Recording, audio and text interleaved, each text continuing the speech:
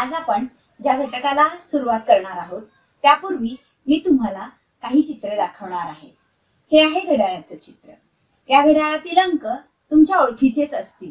हो की नाही? हो अगदी बरोबर. एक दोन तीन चार असे बारा पर्यंतचे अंक तुम्हा सर्वांच्याच ओळखीचे आहेत. ते आपण अगदी पहिलीपासून शिकतही आलो आहोत. आता मी तुम्हाला आणखी एक घड्याळाचं चित्र दाखवणार आहे. या चित्रामध्ये असलेले अंक तुमच्या परिचयाचे आहेत का? पहा बर. हे आहे घड्याळाचं चित्र.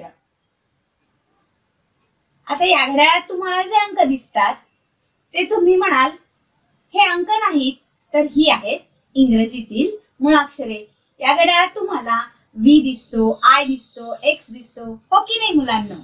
मग ही इंग्रजीतील मुळाक्षरे तर अजिबात नाही ही सुद्धा त्या घड्याळातल्या प्रमाणेच संख्या चिन्हेच आहेत. पूर्वीच्या घड्याळात आपण जी संख्या चिन्हे पाहिली ती आंतरराष्ट्रीय संख्या चिन्हे होती.